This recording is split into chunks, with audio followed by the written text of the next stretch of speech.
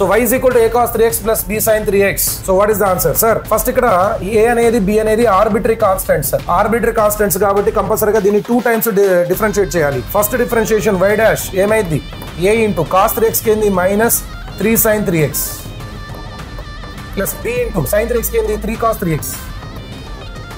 first time చేసేసాను ఇప్పుడు second time కూడా చేద్దాం వై డబల్ డాష్ సార్ మళ్ళీ సైన్ త్రీ ఎక్స్కి ఏంది three cos three x minus nine a cos three x అయింది అట్లానే cos three ఎక్స్కి minus three sine three x okay నై టేక్ సో ఆల్రెడీ దీని వాల్యూ ఎంతమ్మా this is nothing but already y so మనకి ఇక్కడ y double dash is equal to minus nine y అంటే ఏమైంది y double dash plus nine is y is equal to zero y double dash plus nine y y double dash అంటే ఏంది d square y by d x square